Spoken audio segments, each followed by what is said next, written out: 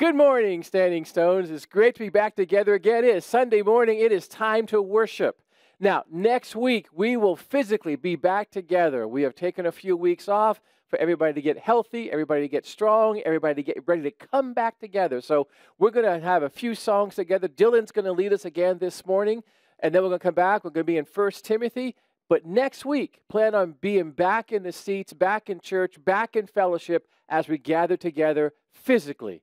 God bless you. We'll be back in a moment. Let's worship. Welcome, Standing Stones. Will you please join me in worship?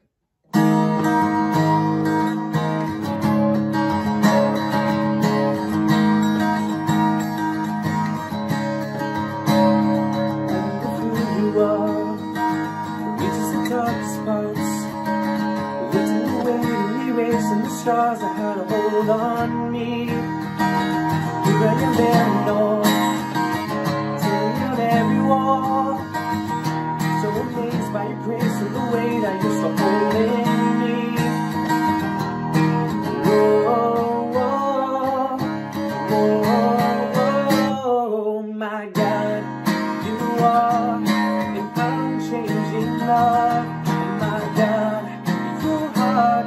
sends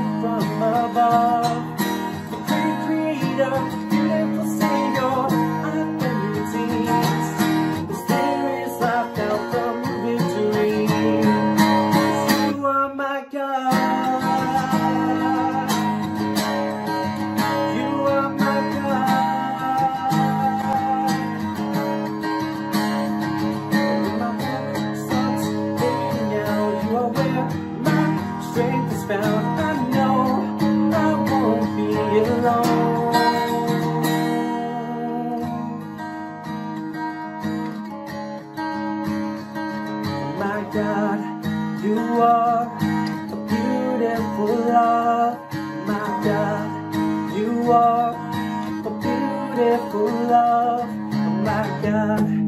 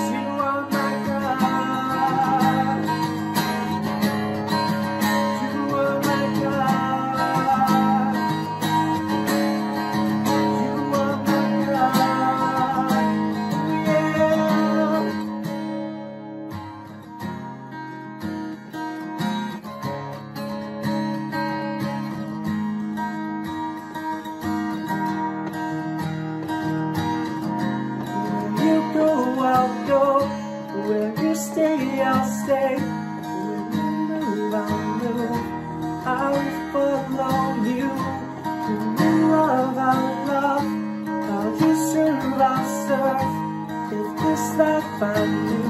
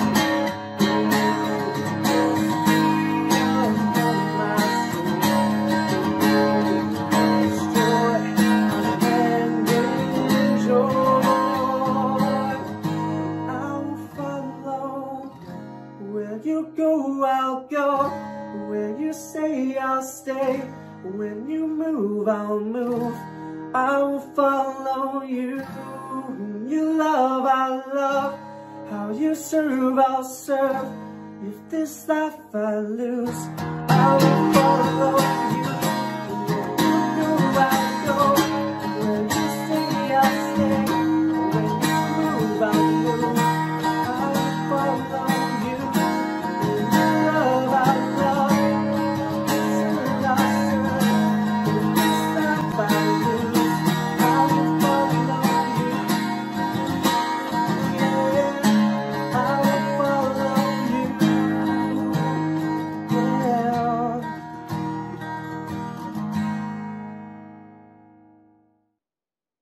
All right, we are back in 1 Timothy. Now, if you remember last week, the whole purpose of 1 Timothy, Paul left Timothy in Ephesus to pastor that church because he says they needed to be reminded of the truth. They needed to not wander away from the truth. So Timothy was left there to be the pastor of that church and to make sure that the truth was protected, the gospel was protected. Because there was false teaching and, and there was just things going on that were not honoring and glorifying the Lord. That was how First Timothy began. Now, everything from this point on, we get into the real life stuff. We get into Christian life. Paul says, make sure that the gospel is, is true, that the gospel is protected. He, he says he entrusts you and I with the truth of the gospel, that we preserve it, that we protect it, that we preach it. Well, that means that we get into real life. So as we move along into, into 1 Timothy, as we get into chapter 2 and 3 and so on, we're going to find out he's dealing with relationships, he's dealing with leadership, he's dealing with money. He's just dealing with the aspect of everyday life. So, with that said, today we're going to talk about prayer a little bit. uh, What prayer really is. Uh, Have you noticed that if you really want to start a fight, if you really want to get an uproar, just begin praying. Go out in the public and begin to pray and see what kind of response you get. Why is there such response for Christian prayer? You can pray to other gods, you can pray to other things, and people won't be bothered. But you pray in Jesus' name, and that seems to cause chaos. Why is that? I, I remember the little story about the sign in the principal's office in the school. A- And the sign read, In the event of nuclear attack, fire, or earthquake, the ban on prayer is temporarily lifted. I bet it would be. If some kind of tragedy happened or chaos happened, well, we can then go to prayer. But besides with that, there really isn't much allowance for public prayer in the name of Jesus. Looking at some articles, April 16th of just last year, a court actually awarded an atheist group $456,000.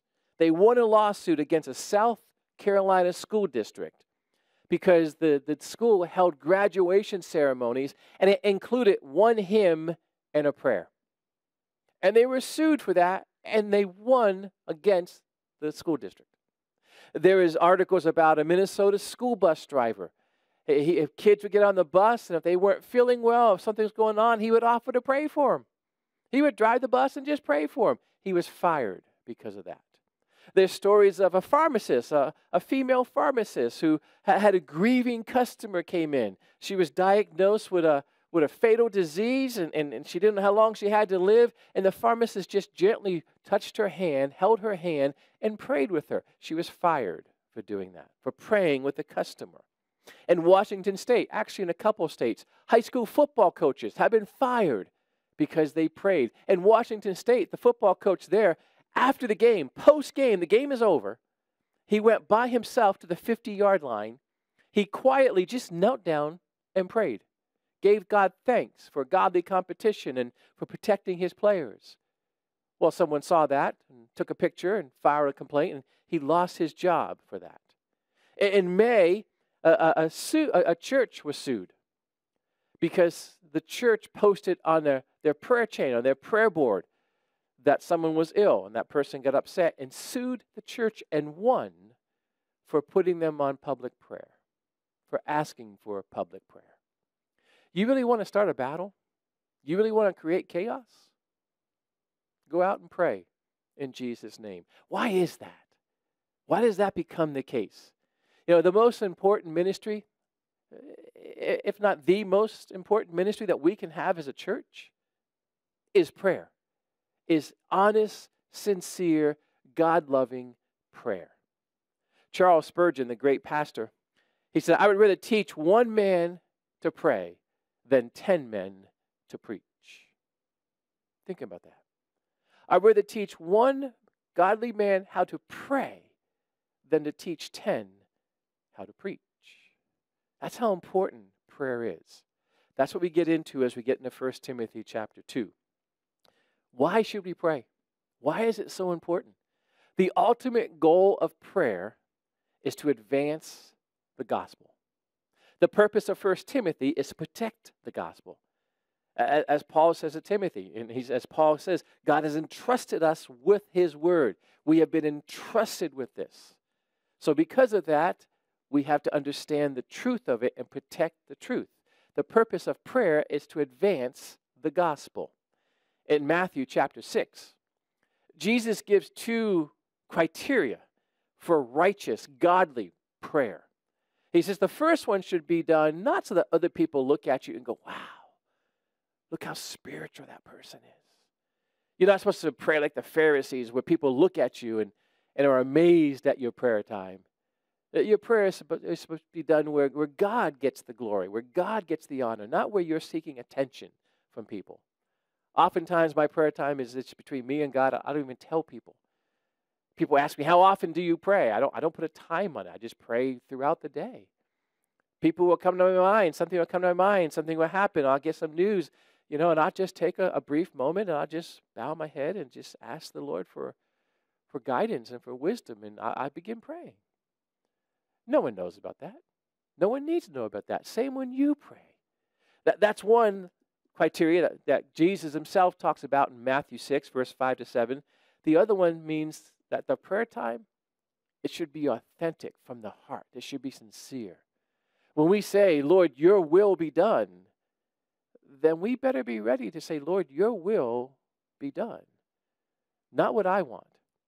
Now, that would transition us really into 1 Timothy chapter 2. Because part of what it comes down to is we kind of want what we want. We want it the way we want it, when we want it, how we want it. And we can take the Bible, we can take Scripture, we can kind of twist it around to say, this is what I want. This is my heart, my desire.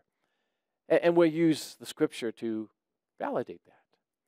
Well, that kind of gets blown out of the water when you look at 1 Timothy chapter 2. First of all, then, I urge that requests, prayers, intercessory, and thanksgiving be made on behalf of all people. Verse 2 For kings and all who are in authority, so that we may lead a tranquil and quiet life in all godliness and dignity. So we should be praying for everybody. As we pray for everybody, this is why. The so that is the why.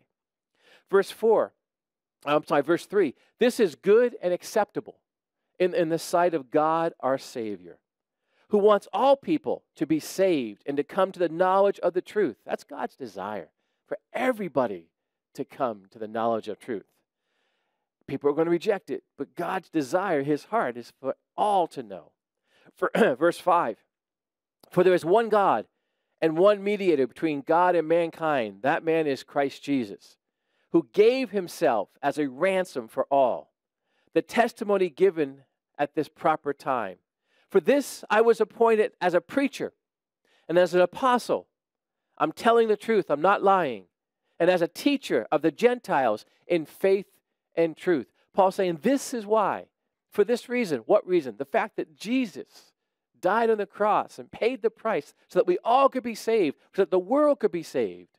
For that reason, God has called me a preacher, an apostle, a sent one, a messenger, and a teacher. Same reason He's called you and I.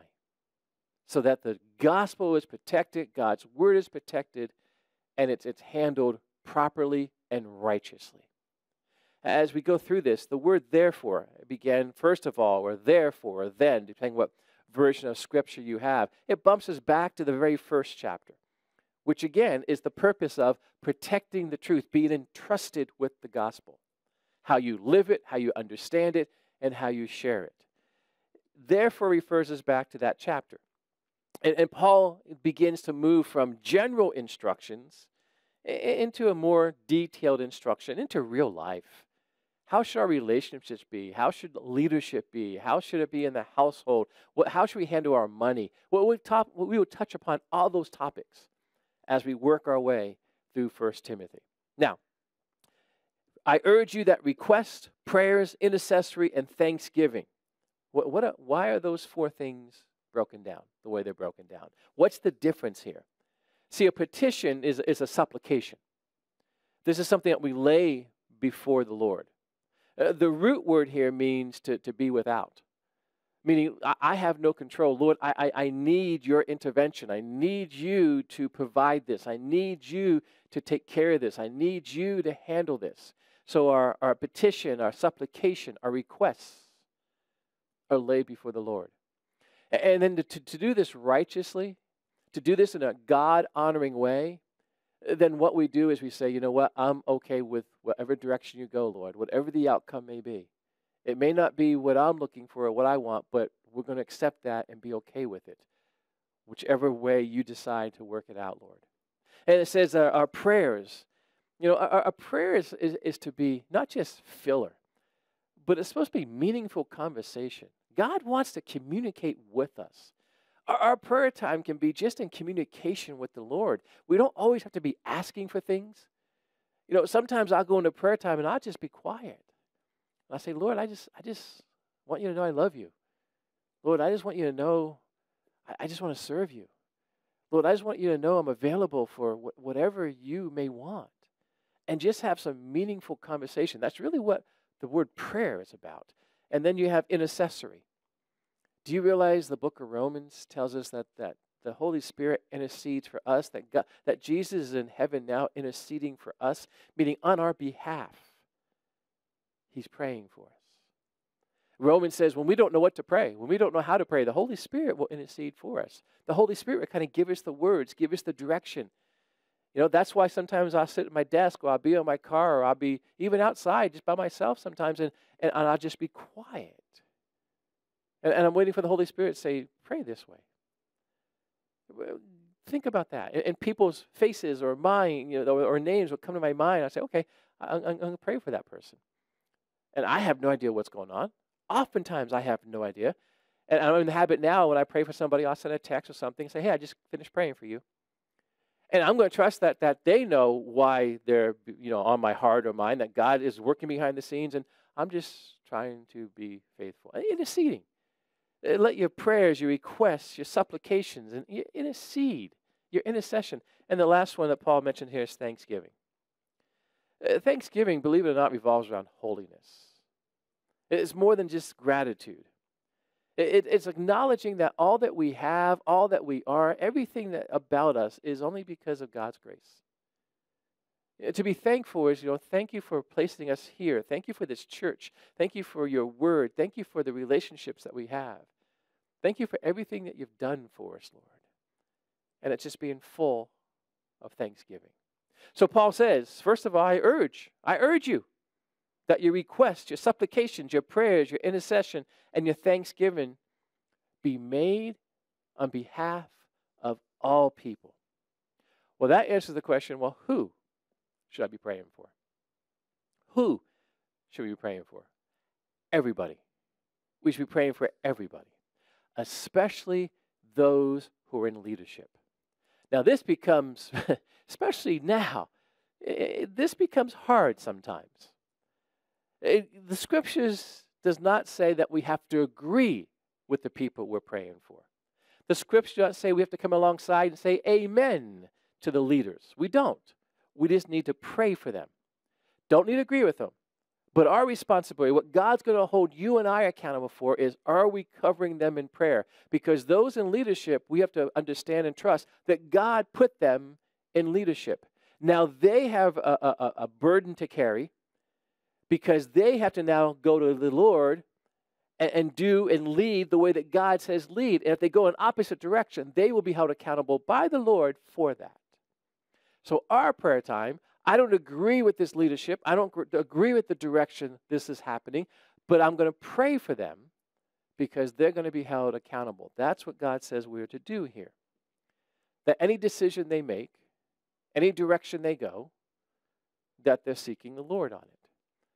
And it may work, it may not work, but that's between them and God. But our job, your job, my job, our responsibility to stand before the Lord is to say, I prayed for them. I prayed they would do the right thing, and I prayed that they would make the right choices. Not on what they want, but on what Scripture says and what the Lord wants. So that's the who Paul was asking to. And, the, and the thing about this is, we can look around. It, it's a our, our world, as we all know, is, is so upside down right now. The United States, we're not united. Um, just what's going on, what happened in the Capitol, what's happening in the streets, what's happening. It, it's just, it's heartbreaking. But understand when Paul said this, when this was written, who was the leader of the time? He was talking about the Romans, especially the Roman emperor. And if you understand church history, at this time, around this period, the Roman emperor was out to literally kill Christians, to torture them. He was literally out to, to wipe out the Christians. And then Paul says, No, pray for him. He'll be held accountable. Pray for him. So, no matter what leadership we look at, whether it be national, local, agree with them, don't agree with them, be upset, not be upset, our job is to pray. And if Paul can ask the Christians in the time of Timothy in Ephesus, in Corinth, in Thessalonica, all around the area, to pray for the Roman emperor, then we have no excuse or reason not to be praying for our leadership as well. Because trust us, we, we, we need that done now. Why pray? Well, the scripture says, so that we can live in, in peace, tranquility, that our lives can be calm and quiet. That's why we're praying. That's what we're trying to do. We're trying to, to live in peace. And we're going to pray for our leadership and we're going to pray for world leaders because we want the door of ministry to be kept open. If we're not praying for world leaders, if we're not praying for, we pray for Christians, I think, I trust that we're praying for Christians that we hear stories of how they're being persecuted just because they're Christians. Are we praying for the leadership of those nations? because the doors can be closed, missionaries can be sent home, visas can be denied. The gospel, the purpose of this, of prayer, is so the gospel is advanced. The purpose of First Timothy is for the gospel to be advanced. And if we're not praying for world leaders, if we're not praying for countries who are against Christians and against the Bible and against the Lord, then ministry can halt. And, and God's saying, be in prayer That visas are granted, that doors are open. What's happening in China? The underground church, they're still preaching. They're still, we need to pray that the leadership backs off. And other, uh, Iran, other places in the world that we may never even set foot in. But we need to be praying for them for the sake of the advancement of the gospel. Now, 1 Timothy 2, jumping down to verse 8. Uh, that, that was the very beginning. The, verse 8 is the second part. And it's more, again, instructions as we move through Timothy. This is going to be interesting, especially for the ladies, because the ladies can oftentimes be offended by what we're going to read in 1 Timothy 2. But you have to understand it in context and the purpose behind it. And, gentlemen, please point out and please understand that God speaks to you before he speaks to the ladies. So, guys, we're on the hot seat first. God is speaking very directly to us as we do this. 1 Timothy chapter 2 verse 8.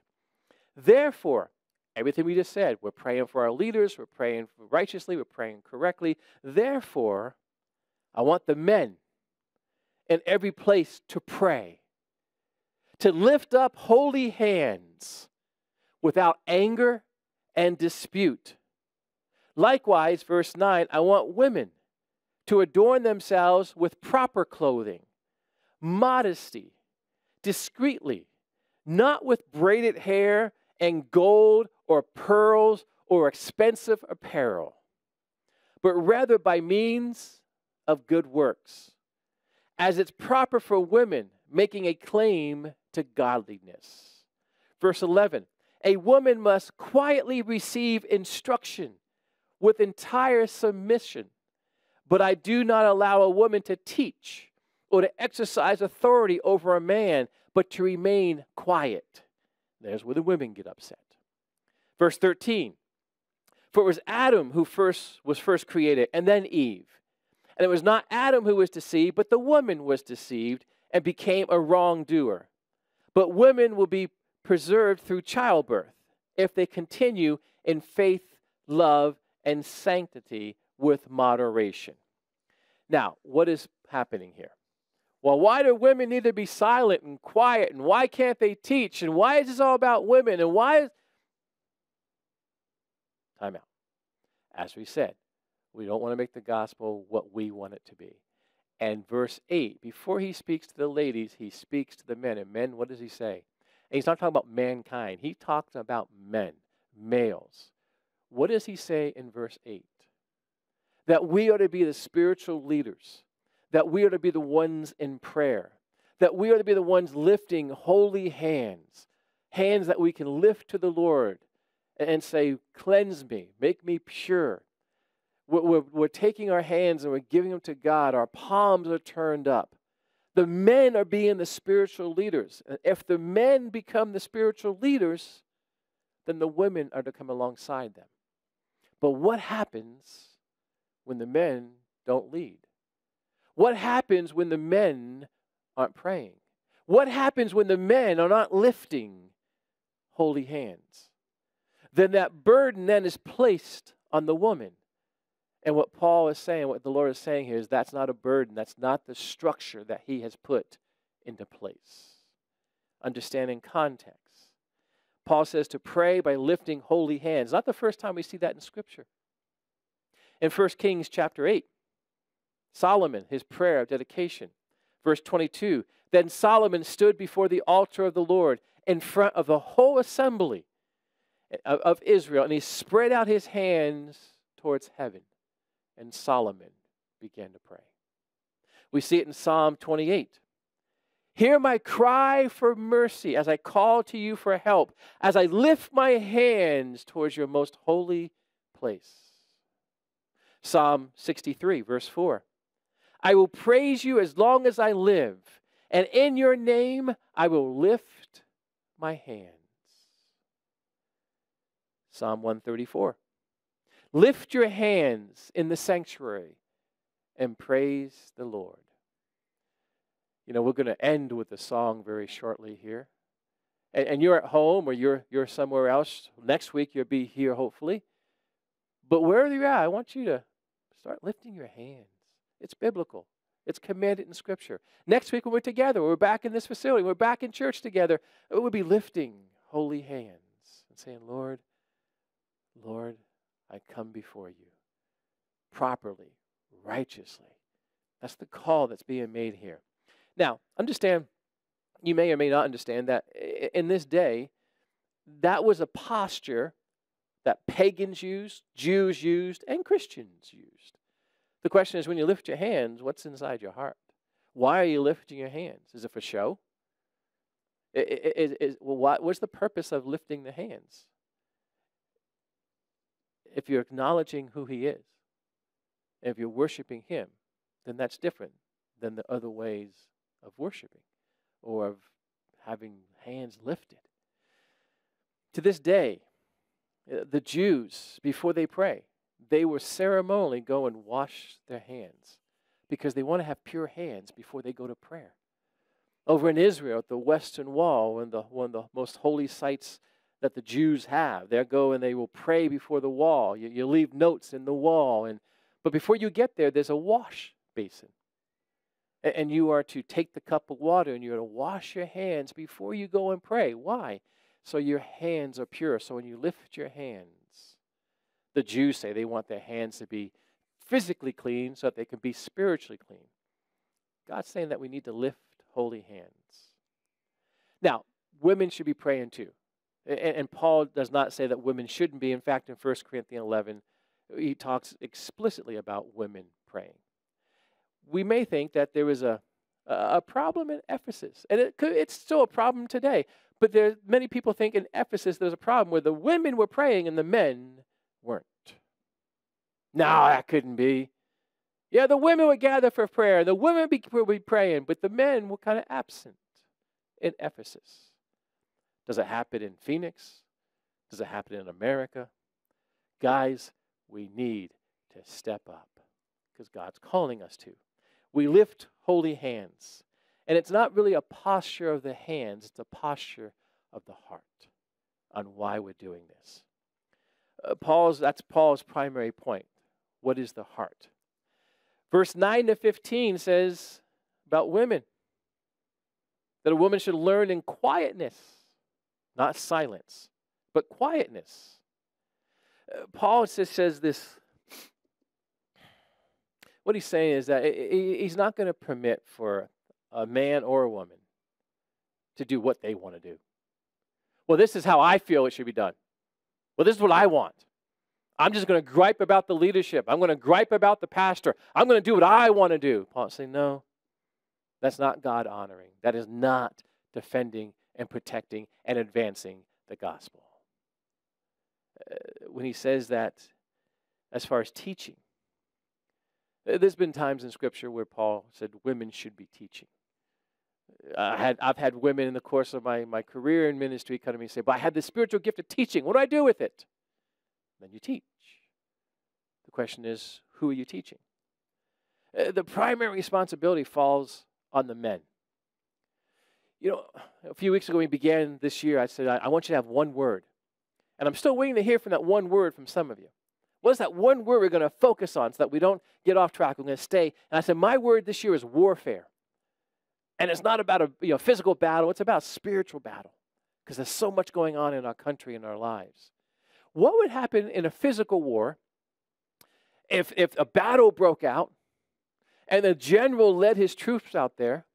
And when they got there, if the general just kind of stood and watched, the troops are waiting for a commandment. The troops are waiting for direction, and the general just stood and watched. And one of the soldiers say, General, there's a, there's a battle. What do we do? And he said, Yeah, there's, there's a battle out there. What would happen? What would happen if a fire broke out and, the, the fire truck showed up? And, and the, the fire captain got out of the fire truck and he just looked and he, he watched the buildings burning.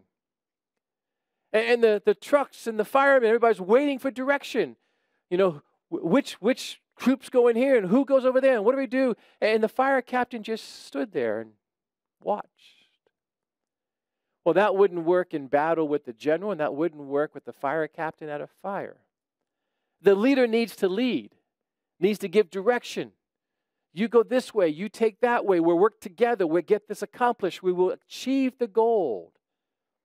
That's what he's calling men to do in the family. Guys, step up, be the leader. Don't just sit back and watch. Take the direction. Well, I'm not ready for that then. Then come see me. I will work with you.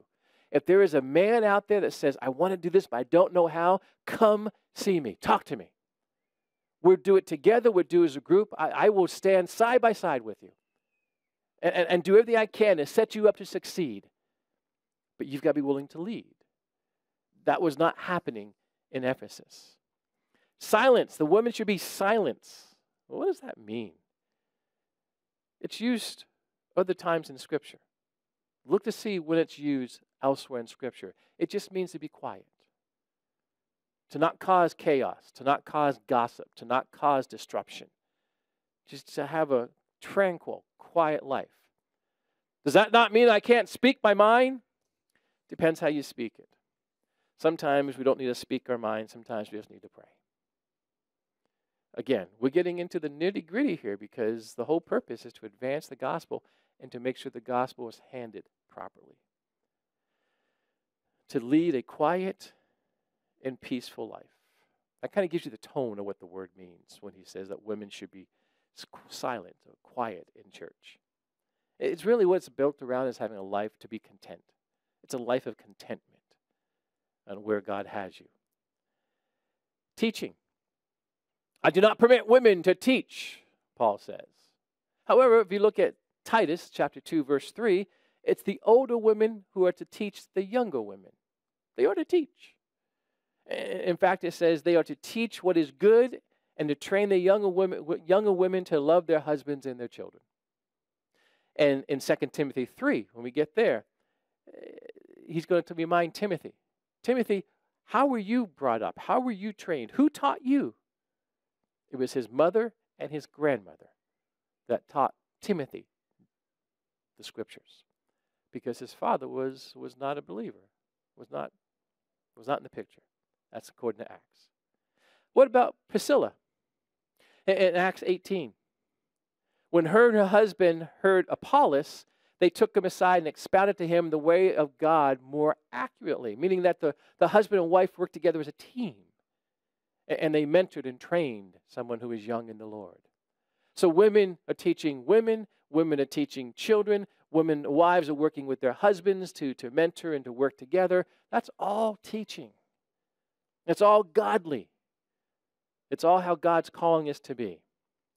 Now, there's a high possibility that the women in Ephesus were being misled, that the women in Ephesus were trying to teach, and they were teaching pagan traditions, or they were teaching false doctrine, or they were teaching something that just got off the way. False teachers were in the church. The whole book is about false teaching and not following a wayward way, but being, being honest and being right and preserving the Word of God. And in Ephesus, history tells us that the women went in a different direction. They were deceived by false teachers. And they took that false teaching, they took that false concepts, and they brought it into the church. Paul saying, understand the purpose. But before, the, uh, the ones who would get upset with this passage are usually the ladies. Because what people, when they read this, what they hear, the women hear, so I got to be quiet, and I've got to be submissive, and I got to be this. And focus first on what he says in verse 8. Gentlemen, men, stand up, lead, be a prayer warrior, lift holy hands, not dirty hands, holy hands. Well, my hands aren't so holy. Then make sure they get washed. Come before the Lord, repent, be sincere, and lift your holy hands and lead your families. And ladies, honestly, if you're married, if your husband is leading that way, are you going to rebel? I, isn't that what you want? If you're a single lady, uh, your father, if your father is leading you that way, are you going to rebel? Uh, that, that's what this picture is about. It's about being quiet. It's about being having peace. It's about having tranquility. It's about having righteousness. And if we get upset because we're not getting what we want, I would encourage you to take a step and say, time out. Time out. What is it that God's asking me to do? Oh, isn't that fun stuff? See, I love these kind of passages because it, it gets real. It gets into our kitchen. This gets into real life stuff. And, and folks, all we need to do now is understand the purpose of 1 Timothy, which is to be entrusted with God's word and to live as righteous. Men step up and lead, women come alongside. There's peace, there's tranquility, and there's the ability to then present the gospel to a world that's full of chaos, pain, and they're lost. And it says that God's desire is that all, that all, and all means all, and that's all all means, that all come to know him. Unfortunately, we know there will be people who reject him. But that's not the purpose that we are praying and living the lives that God has called us to live. All right, it's time to close out. It's time to do one more song. Wherever you're at, let me challenge you. Lift holy hands and let's worship the Lord together. Father, we thank you for this time together. We thank you that we can physically come back together as a church next week. I pray for those who are online and can't be here. I pray for those who, who are just hearing this for the first time. But Lord, I pray that you penetrate their heart in a way that only you can do. Lord, I pray that we can put down all kinds of gossip and grievance and upset and everything that we want to carry around, all this junk that we have, that we can just let go of it and throw it away and say, What kind of person does God want me to be? Your, your word is very clear. If it wasn't so clear, we wouldn't get upset over it sometimes. But it is very clear. You give us direction. And Lord, I pray now that each of us can take that direction, apply it, live it, not for our benefit, but for your glory. May we all lift holy hands with our hearts being pure, saying, Lord, thank you. May our prayers, our supplication, may everything we do be given to you. And whatever may come, may we accept it as the work of your hand, knowing that we do not have the whole picture, we do not see clearly, but you do. Father, thank you. Thank you for embracing us. Thank you for loving us. Thank you for your grace. In Jesus' precious name, amen. Amen. God bless you.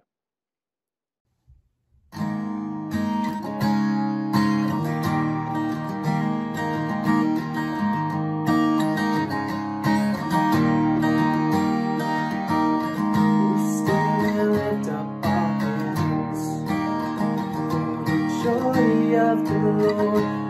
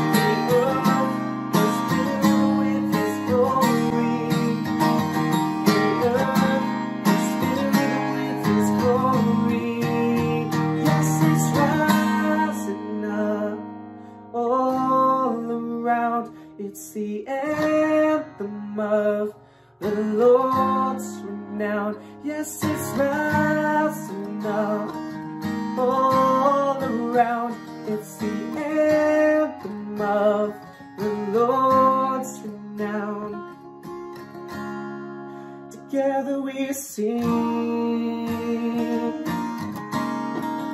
Everyone sing.